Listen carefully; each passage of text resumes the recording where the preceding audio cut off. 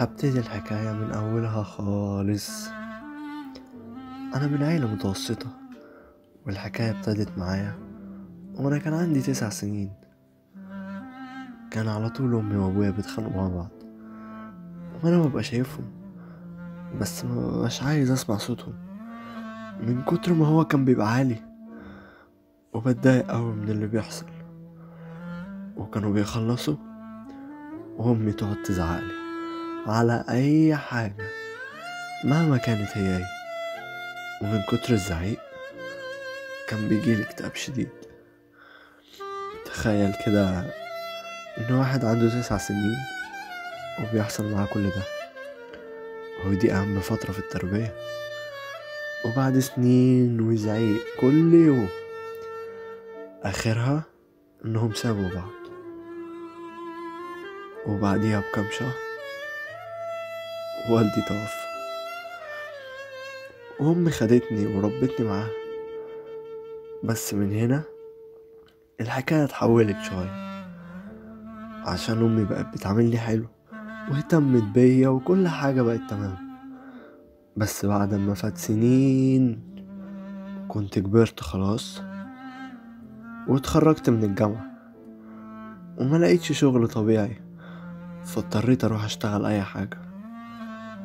واشتغلت حاجات كتير وطلعت منها فلوس كويسة وجبت شقة عشان اتجوز فيها. بس هنا جه موقف معرفش جه في دماغي إزاي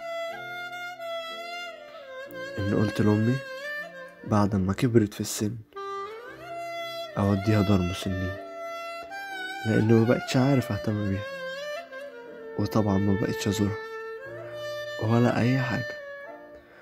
من كتر الشغل اللي كان عندي لحد ما جيت أكبر صدمة في حياتي كلها. لقيت حد بيتصل بيا وهو بيقول لي إن والدتي توفت.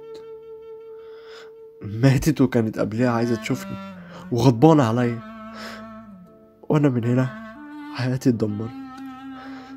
زي أكن بالظبط. ربنا كمان غضب عليا. وزي ما بيقولوا اللي ربنا رزقك عشانها مبقتش موجودة وحصل مشاكل في الشغل اللي كنت شغال فيه وسبته كمان. وحياتي كلها بقت ملهاش أي لازمة.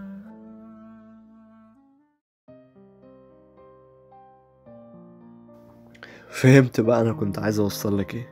من حكايتي دي كلها ما تحاولش تهمل أمك أو تأذيها بأي كلمة صغيرة. حتى لو هي عملت معاك إيه عشان أحسن حاجة في الحياة دي هي الأم ومش هتلاقي أحسن منها.